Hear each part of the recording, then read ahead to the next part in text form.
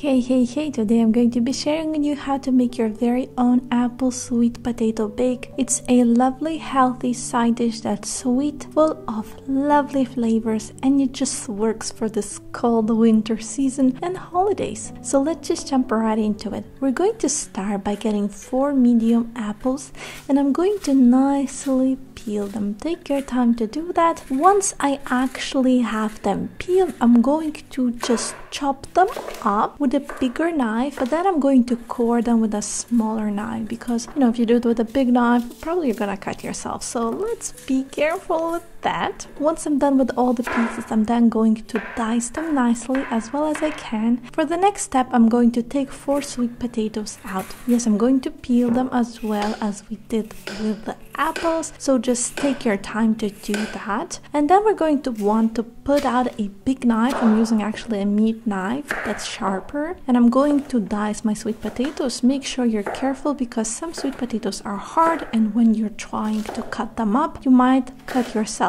That happened to my friends before, trust me. So be careful with this one and just dice them as well as you can. The smaller the pieces, the better they will cook and the faster. Let's take a small glass bowl and add in 2 teaspoons of cinnamon. That's a lovely spice that will bring flavors to the bake and then 1 4th of a teaspoon of nutmeg and 1 8th of a teaspoon of ground ginger and I'm going to just give a good mix to all of these and combine them well. We then want to transfer our sweet potatoes and apples onto a baking sheet. The smaller the baking sheet the longer these will need to cook, the larger the less time it will take so take that into account and then we're going to sprinkle all the spices onto these little potatoes and apples. I'm then going to take one third of a cup of raisins and just sprinkle them all over our baking sheet and then add in two thirds of a cup of walnuts, sprinkle them as well. I'm then going to take one fourth of a cup of butter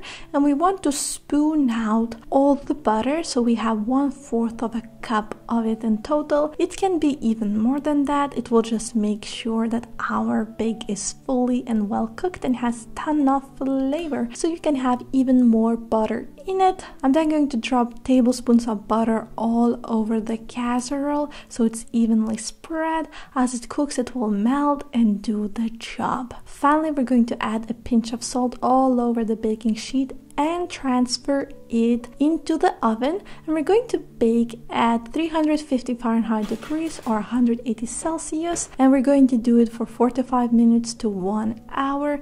We just need to make sure that our potatoes are fully cooked and soft before we take out our sweet potato bake. Once it's done, it's a lovely, lovely side dish you can have with your favorite meals. It's so yummy, spice, full of flavor, sweet, and you know what? It's healthy, but it feels extra special. So highly recommend making it. For more recipes, please like and subscribe and come to allnutritious.com. Bye bye!